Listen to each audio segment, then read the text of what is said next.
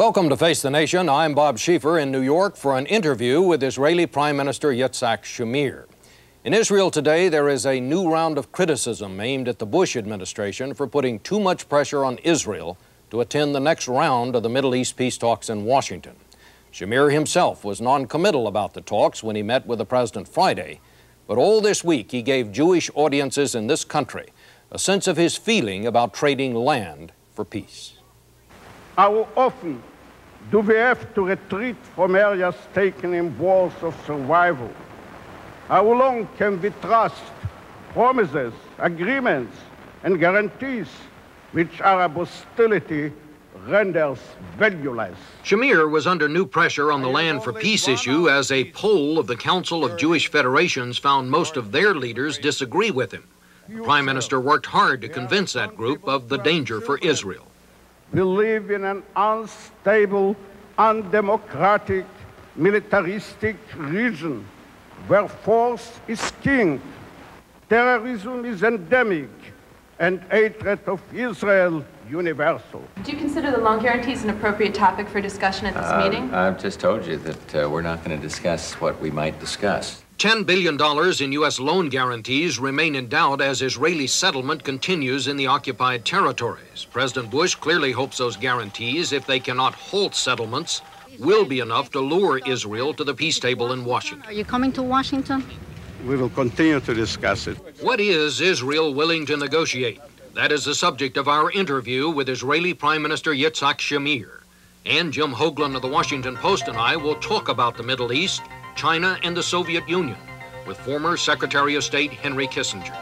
Peace or posturing in the Middle East, an issue facing the nation. From CBS News, Face the Nation, with CBS News Chief Washington Correspondent Bob Schieffer.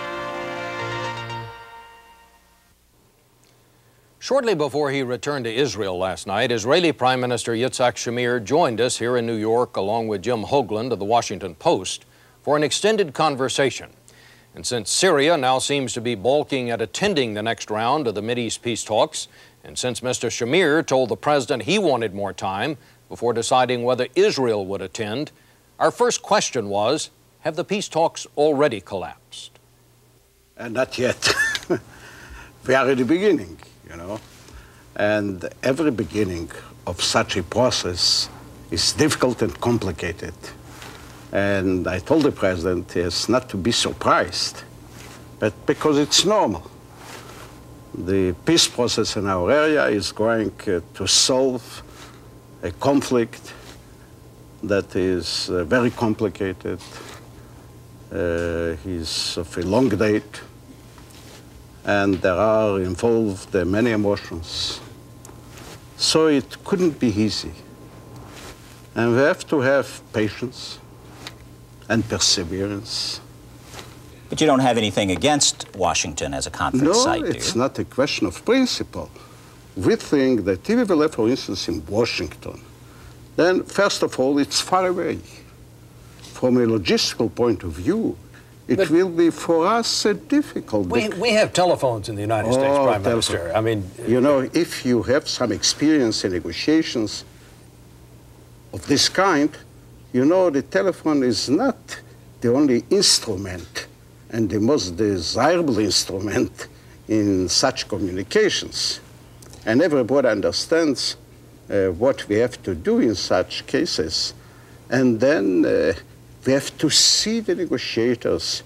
We have to talk with them. We have to understand their feelings, their assessment about the mood of the other parties. And we will have to give instructions. And after all, the subject here is not a very simple one. It Right. concerns our most vital uh, interests. It concerns also, in some ways, the housing loan guarantees that the United States uh, has not agreed to discuss until January. Will your ability to uh, accept and to welcome a large number of uh, new Soviet uh, immigrants in 1992 be seriously affected if you do not receive these housing loan guarantees? Well, uh, you know, some difficulties in the absorption of the new immigrants could have an impact. On the number of the new immigrants unless uh, they will be forced to leave Soviet Russia because of the uh, impossible conditions they will have there. But uh, anyhow, we will have great numbers and we need help from outside. Anybody will understand it that a country like ours, even if a much bigger country, a much richer country, will not afford to absorb such numbers of people in such a short period. And we need, for the meantime, we need some help. And what we are asking for is not, uh, is not money, not uh, loans, only guarantees. Guarantees. Did you ask the president about this question when you met him on Friday? Not on this occasion, because we have spent all the time of our meeting on this problem of the venue, of the continuation of the peace process.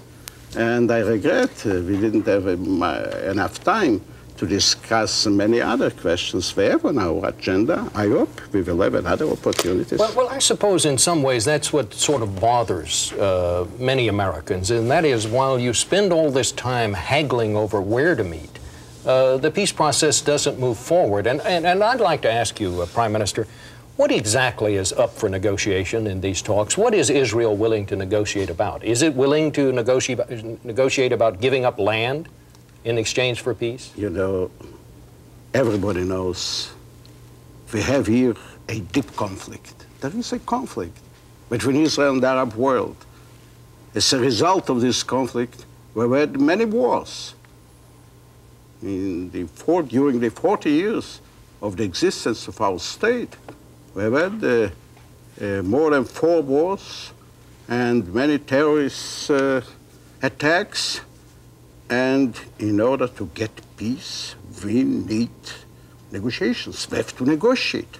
Flat out. Do you ever see a time when Israel could give up any land uh, that it now holds as a concession you know, for something or the other? When you're, when you're talking about lands that Israel has to give up, uh, you know, people could uh, think that we are a continent, that we are a very big country with vast lands.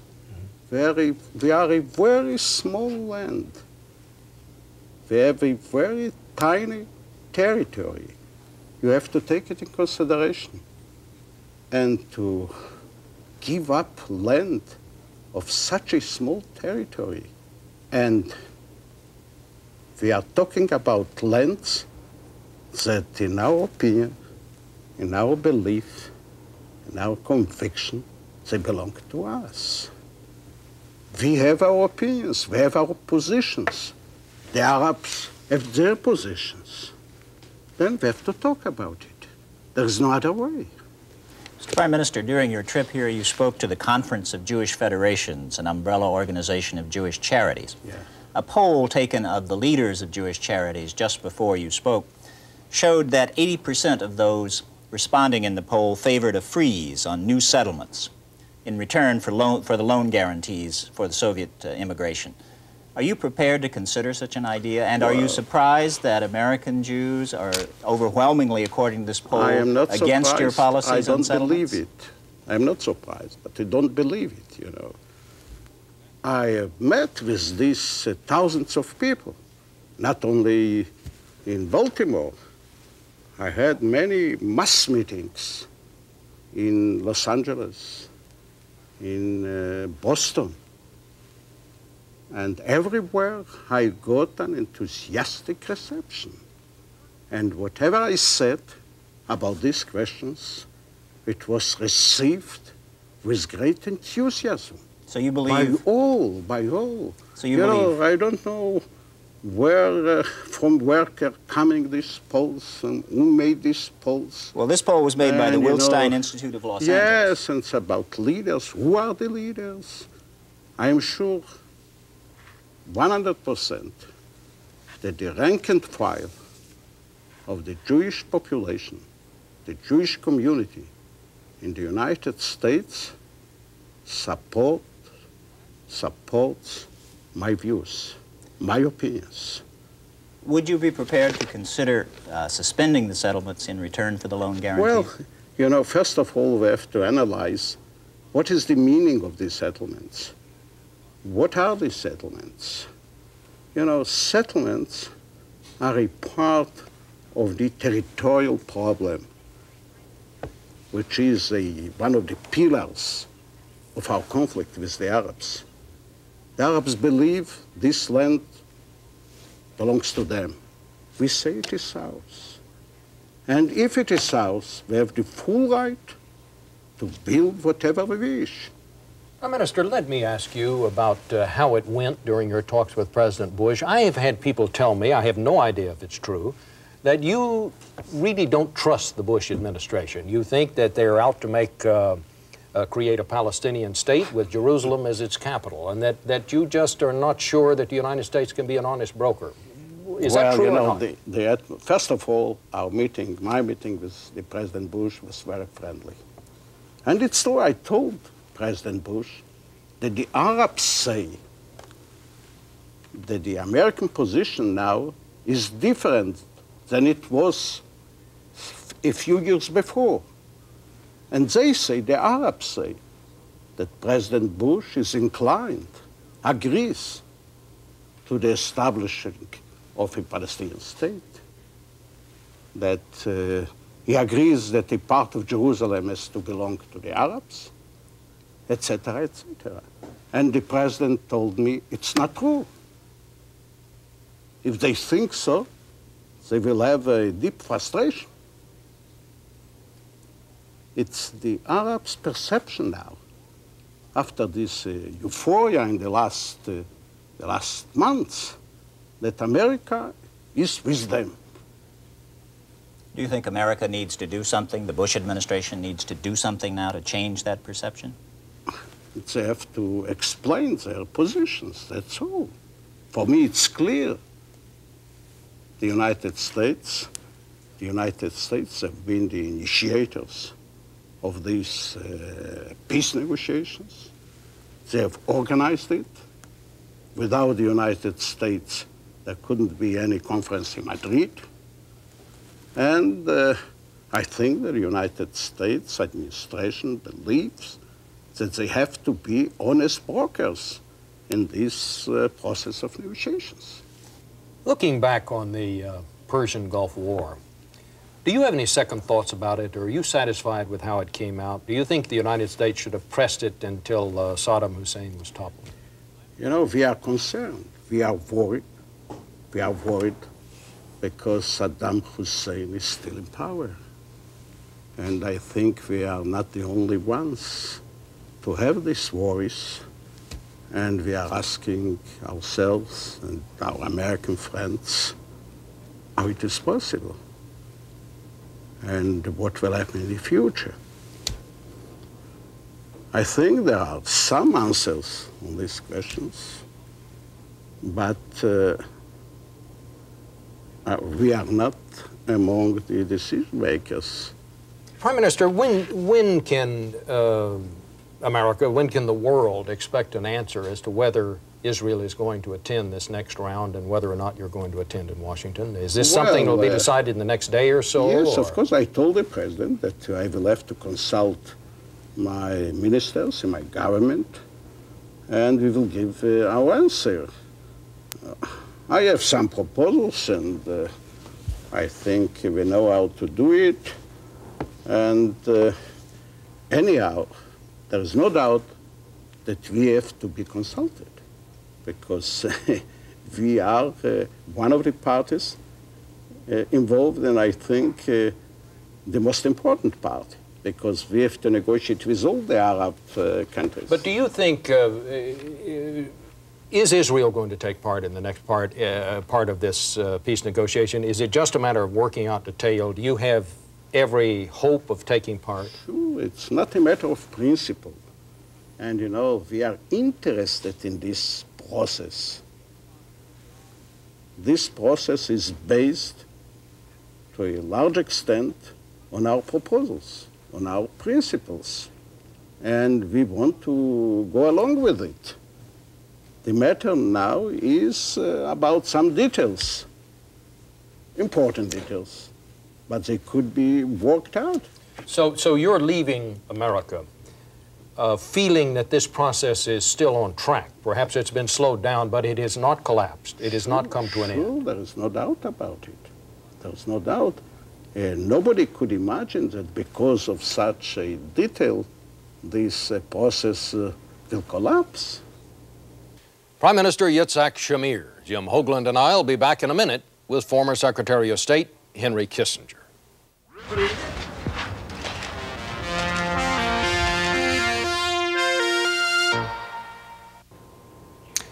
And joining us uh, this morning from Kent, Connecticut, Dr. Henry Kissinger, former Secretary of State. Dr. Kissinger, uh, welcome.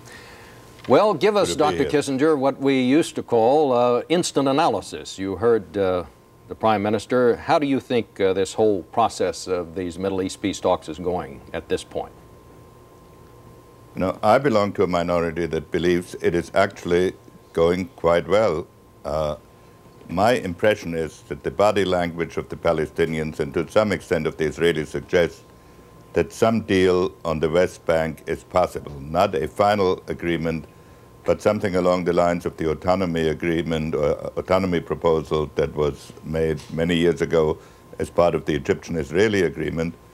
And I believe that this would permit the uh, development of a Palestinian leadership group uh, greater dignity for the peoples on the West Bank, after which uh, one can discuss the issues uh, of a final settlement. With Syria, I think it is more complicated. With Syria, one, uh, I think it will depend in part how the Palestinian negotiations go. But even there, I think some limited agreement is possible.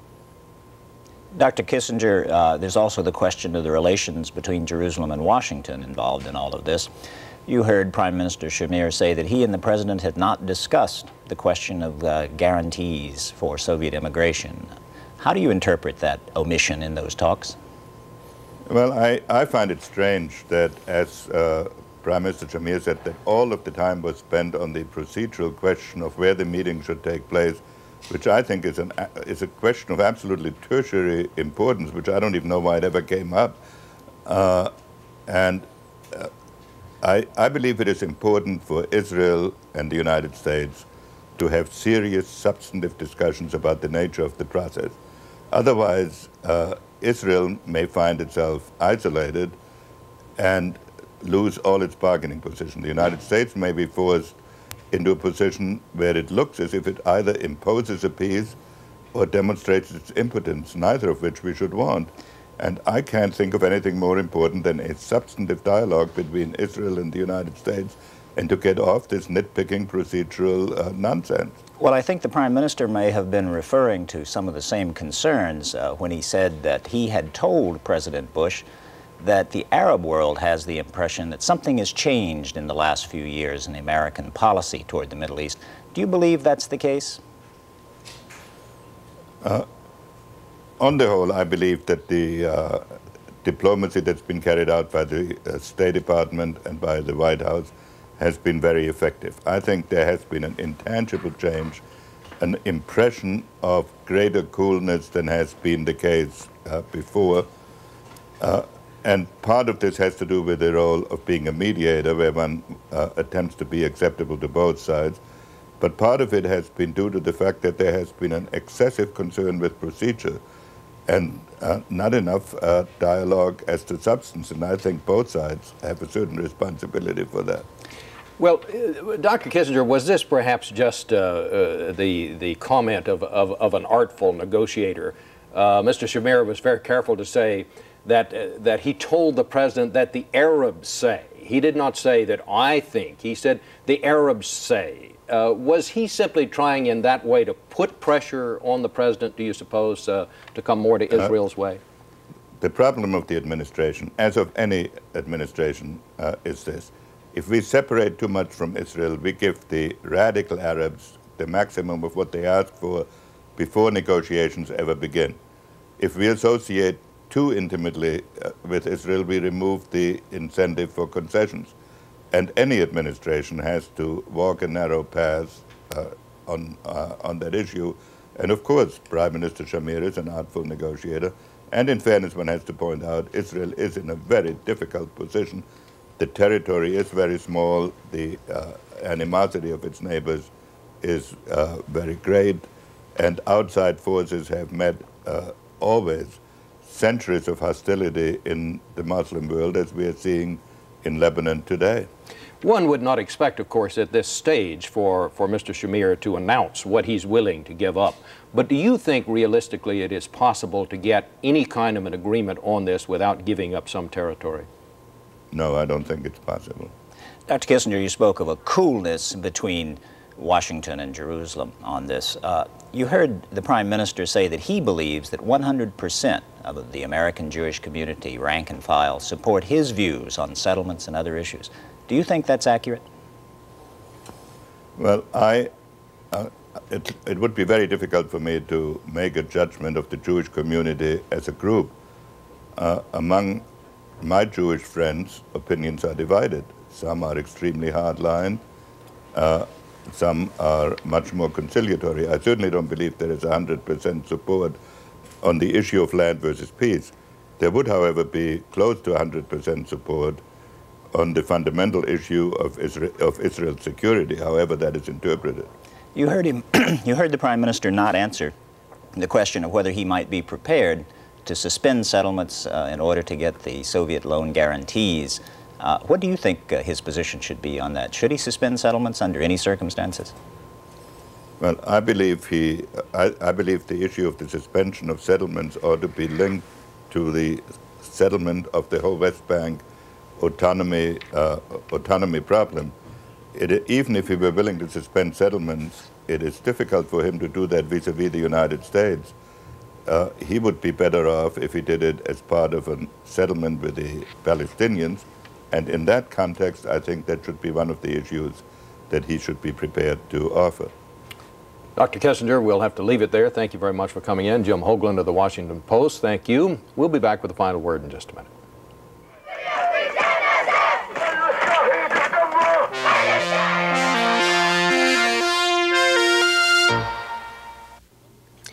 Well, that's it for this week. Next week, we'll be back in Washington. Thanks for joining us on Face the Nation.